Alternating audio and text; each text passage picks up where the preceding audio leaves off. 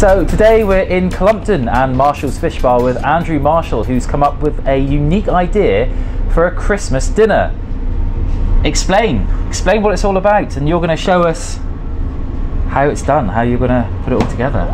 Basically, uh, it was it's come up from uh, little bits and pieces from the internet that people have shown me over the last week or so. So the first one was batter sprouts, and a friend of mine um, said I must try them, I must try them. Um, and as I'm not a very Christmassy person, and my staff then got on my back a little bit and said, look, let's have a go, let's see what we can do. And it sort of kind of just escalated from there. So it went to then the battered pigs in blanket, and um, and then I just thought, well, can I create most of the Christmas dinner and put it in a box and do a Chipmas dinner, basically? And that's what we're about to do now, isn't it? This you're is what about to show do. us a Chipmas dinner. Right. First of all, um, I've got a gravy bomb. So it's um, uh, ice cube of jelly of uh, gravy, wrapped in mashed potato, and then breadcrumbed. Uh, and that's our potato side of the deal. Right. Uh, and that obviously going to take a little bit longer than most of everything else. Okay. Uh, along with the chicken. Chicken leg. So there goes the chicken. There's the chicken in and the potato bomb. And the magic, we can do it all in one pan. Amazing. Of course, just to point out, this is a little camera, so it's showing you exactly what is going on in the deep fat fryer. Ah, look at that. And That's then we've the got most, one of the most important parts of Christmas, isn't it? Our pig in blanket. So just a little cover in a rice cone just to get the batter to stick well. And then in we go. So how long do you think this will take then to put it all together? All together, it'll take about five, six minutes of cooking time, uh, and then a little bit of time then to let it all drain to get rid of a bit of the grease. So it's a lot quicker than just doing a bog standard Christmas dinner on Christmas Day, isn't it? Oh, definitely so, definitely so. Not quite as healthy though. Um, I think the equivalent of this dinner um, is two Big Macs. Right, okay. So for anyone who eats two Big Macs or more, ideal for you. Anyone on Slimming World or Weight Watchers? Probably not.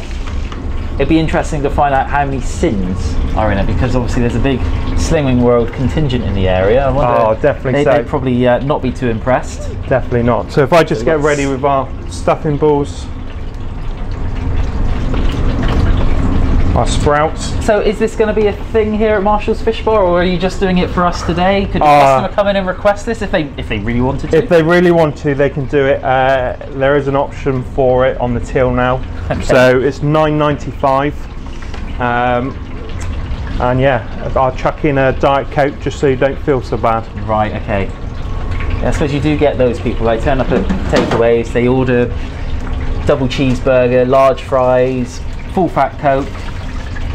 No, no, they they generally have their um, they generally have a diet coke just to uh, balance everything out. There we go. So a couple of minutes in now, and then comes our uh, part of our five a day.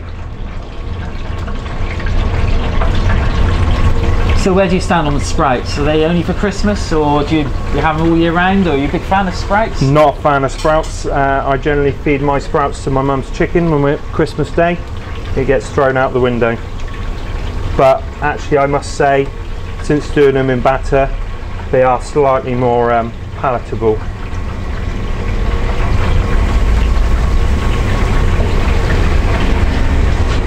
And then obviously last but not least, you need a little bit of dinner, a little bit of dessert to go with dinner.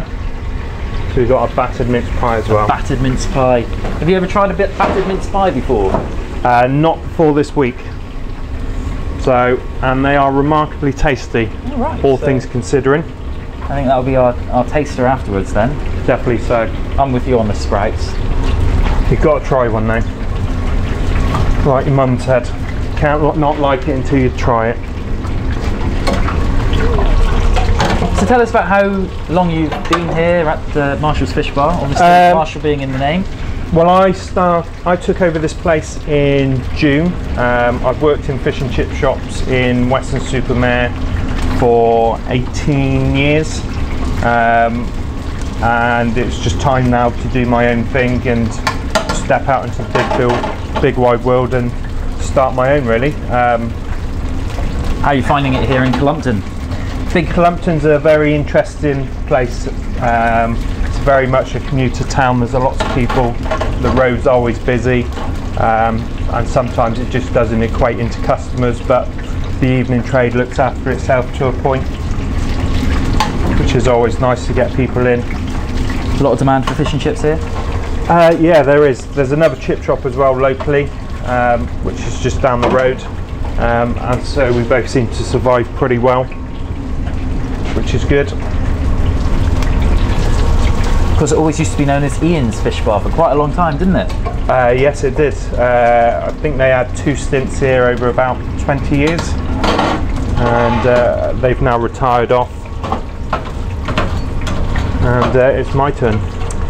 Now, being working here um, in the fish and chip shop, you must get to know most of the people in Cullompton. You get your regulars in.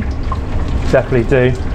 Everyone, uh, everyone's got their own little quirks, and whether it's the guys that are coming out the pub just before they get the bus home, or the families that come in and have their kids' meals, and or for the old people because they always enjoy a smaller meal.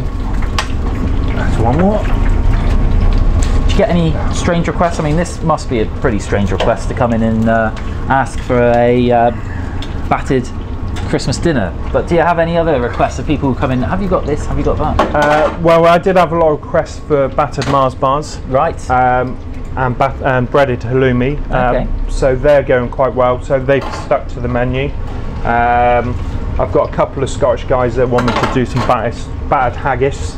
Um, so we might see see what the new year brings for that one. Something for St Andrew's Day, maybe. Yeah, definitely. So Burns night maybe.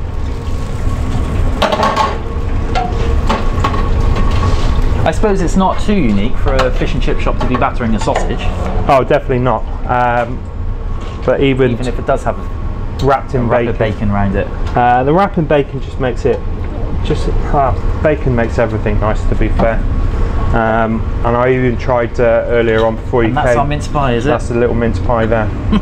uh, I even battered uh, a rasher of bacon, and it was surprisingly nice. Um, so that might turn up on the menu at some point for a little bit of fun. Maybe do a breakfast menu, but you never know. So that was it. That's it. It's all done. just the um, the gravy bomb to be done. We'll just let that drain a It didn't take that long at all, did it? No. You know, when people people come around in the Christmas dinner and they're all getting stressed about the turkey in the oven and how long it's got to be in for and what temperature it's got to be cooked, and there we are. We're, we're done. Yeah, a little bit of organisation makes everything easy. How would you serve that then? How would you? So uh, now, obviously let it drain, find my tools. So, chicken in first. Gravy bomb the other side. Important sausage. Find a bit, a bit of room for oh, stuffing. Delicious little sprouts. a bit like Marmite, aren't they, sprouts? Oh, definitely so. So what were those? Oh, those were the carrots, weren't they? Those were the carrots, and then a little bit of space left, For the mince just pie. spice in. There we go. That's And then that- as you said. Nine ninety-five. Nine ninety five. Heaven in a Even box. Even cheaper. Heaven in a box. All ready for Christmas Day. So you've just cut this open. Yep. What have we got here then? So at the back now we've got the um, mince pie, and then we've got the gravy bomb next to it. And you can smell it. It doesn't smell too bad at all, does it? No, mince pies are lovely, especially at this time of year. So what's in the gravy bomb?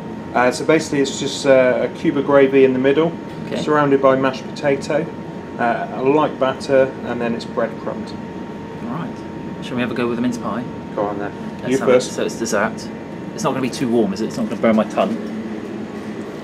No. Right. Okay. Let's have a look then. See what we've got. How is it for you then? The mince pie. It's, it's a bit of a treat. Oh, it's the sweet sweetness of the pastry, and then the crunch of the batter. Hmm. That crunch of the batter really does make it taste quite nice, doesn't it? Hmm. That works surprisingly well. Yeah, scarily well to be Hmm. fair. That does. Yeah, that's that's good. I might have another bit. I like that. Let's have it. Right. So definitely, definitely would recommend a bit of battered mince pie from Marshall's Fish Bar, and of course you got the rest. So nine pound ninety five. Or you can buy the mince pies individually, individually on their own for 150. Right. Same with a portion of sprouts or a uh, pig in blanket, Okay. because they're the ones that are going to be more individually brought. Um, or you can just buy the whole box and have a chipmas on me. And are you open on Christmas Day? I assume not, but No, no, I've got to cook for mum and dad, so all right. Uh, and what are they having for Christmas Day, Mum and Dad? goose. Brilliant. Okay, well there you go. Everything you need to know about a chipmas here at Marshall's Fish Bar in Cullompton.